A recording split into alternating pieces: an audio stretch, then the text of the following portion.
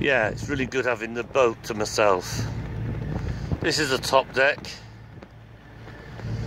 Not a backpacker in sight. No whinging, whining kids. No worthy but dull couples. Just me. And a beer. And the whole bay to myself.